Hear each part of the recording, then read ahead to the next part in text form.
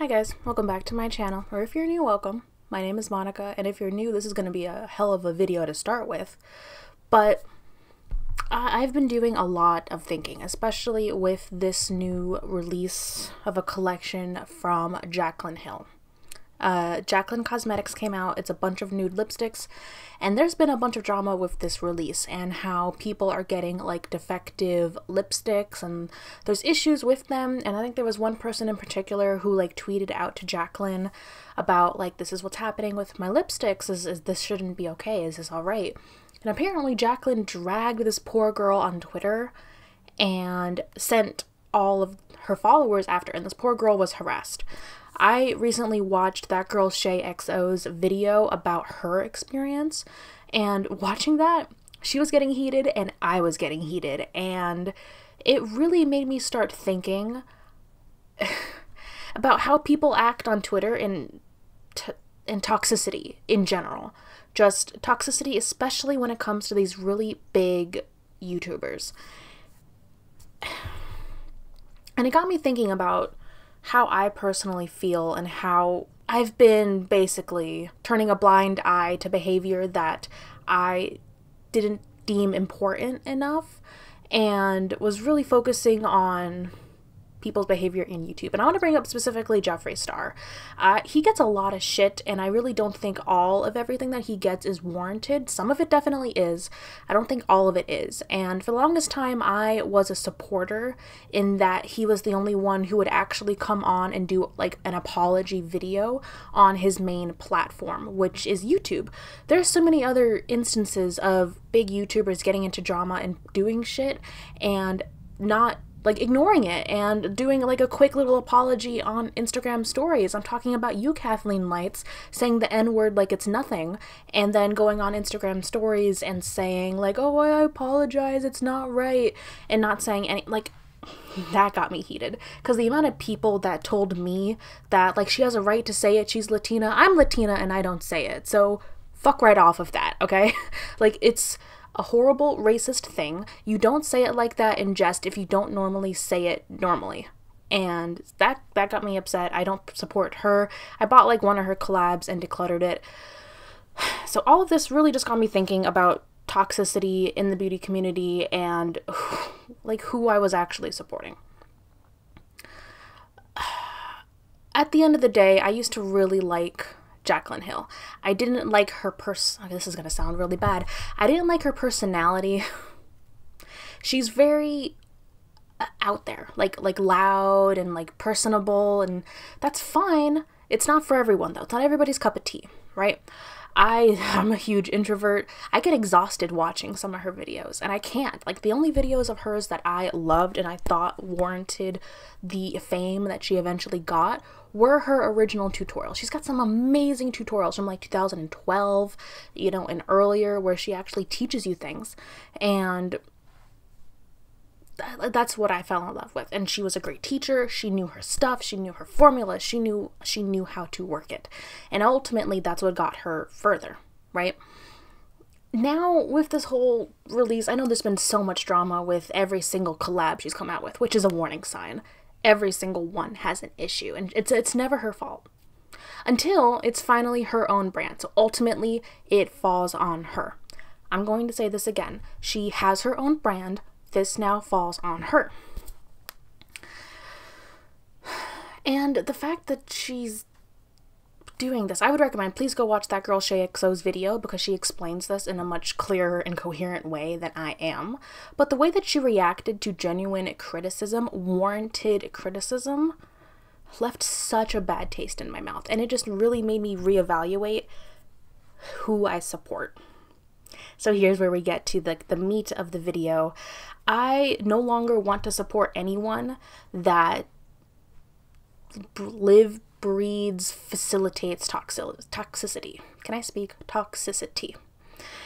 And so that's going to include uh, Tati, who I haven't been supporting since the whole Halo Beauty thing.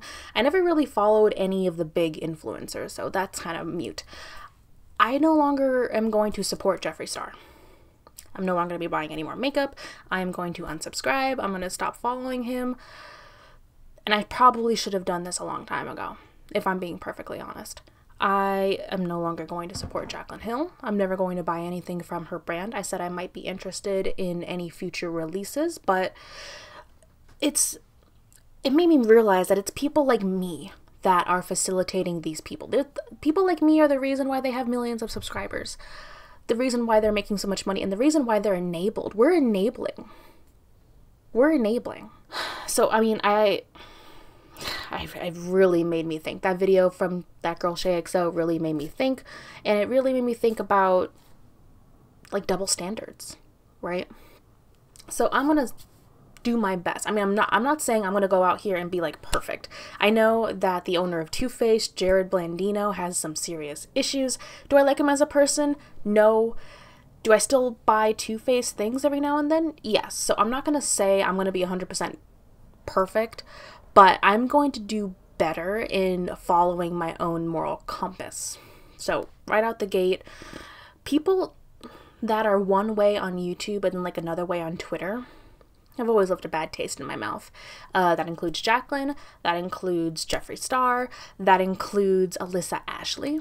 I used to love her videos and I was subscribed for a bit until I saw how much of a bitch that she was on Twitter. I can't believe so like that like i don't want to support people that are just good at filtering themselves. I mean at the end of the day we all do it but i mean we're not all assholes. Like at the end of the day i can act like a decent person not act like decent I, I can okay so at the end of the day i know the difference between how i act at work versus how i act at home versus how i act with my boyfriend versus how i act with my family.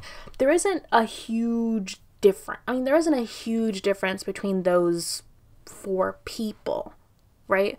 It's just like I'm not going to curse in front of my boss, right? That doesn't make me a terrible person. I'm there's a difference between this and what these big influencers are feeling enabled to do.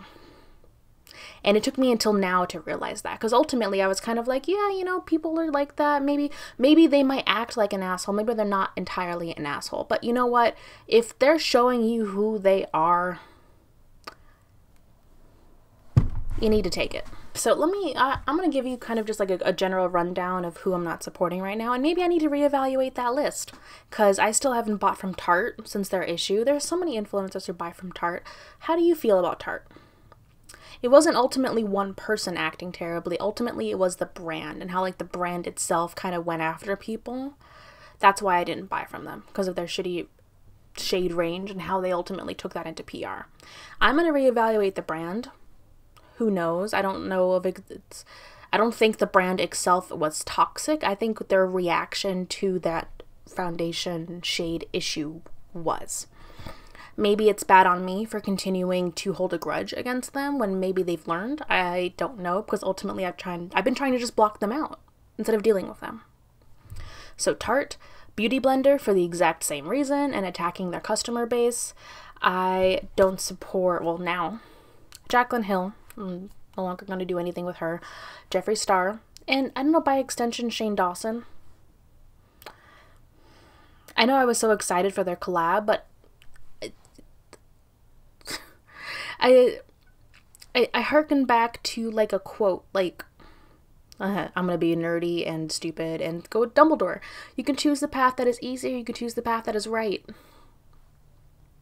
And I'm not gonna say that I'm perfect and I'm 100% right. Am I immediately gonna go like uh, blacklist everyone and go cruelty free and do XYZ? No, because I'm not a perfect person and I never will be. But I have my own values and I have my own I have my own morals and I need to begin consistently following them instead of turning a blind eye when it's convenient for me because that's privilege. And that's what's pushing so many people to keep enabling. So yeah, so uh, Tarte, Beauty Blender, Jaclyn Hill, Jeffree Star, anyone else that's like over couple million subscribers. If I'm being honest, it's just toxic and it's it's horrible, including James Charles. Uh, and Tati. I think those are the ones like right off the top of my head.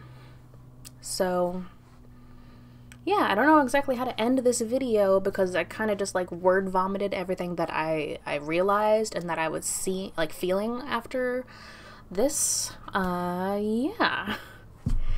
So, um thank you guys for watching. uh uh, we'll be back to probably normal scheduling the next week. I do have one video I'm actually about to film right after this that still ties into the Jaclyn thing, but I'm pretty sure this video is going to go up first. I just, I like threw my filming schedule out the window and I was, I was like, yeah, let's just do this. So here it is. Let me know your thoughts down below. I am very curious. I don't even know what I'm titling this yet, but let me know your thoughts. I, I, I want to discuss this further. Thank you guys for watching, and I can't wait to see you in my next video. Bye.